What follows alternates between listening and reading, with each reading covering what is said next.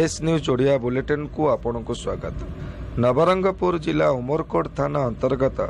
ଉମରକୋଟରୁ ତୋହରା ମୁଖ୍ୟ ରାସ୍ତାରେ ଏକ ମାଲବାହୀ ଚାରିଶହ ସାତ ଗାଡ଼ି ଗାଡ଼ି number C G O four G three six zero three ଗାଡ଼ି ଆଜି ବଡ଼ ଧରଣର ଦୁର୍ଘଟଣାରୁ ଅଳ୍ପକେ ବର୍ତ୍ତି ଯାଇଛି।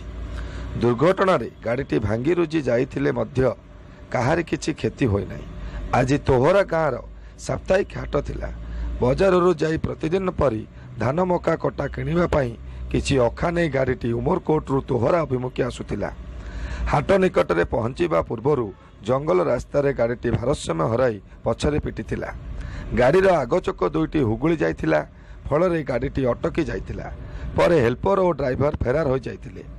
ଗାଡ଼ିଟି ନ ରହି ମୁଖ୍ୟ ରାସ୍ତାରେ ଯଦି ଥାଆନ୍ତା ତାହେଲେ ବଡ଼ ଧରଣର ଦୁର୍ଘଟଣା ଘଟିଥାନ୍ତା ବୋଲି ପ୍ରତ୍ୟକ୍ଷଦର୍ଶୀମାନେ କହିଛନ୍ତି।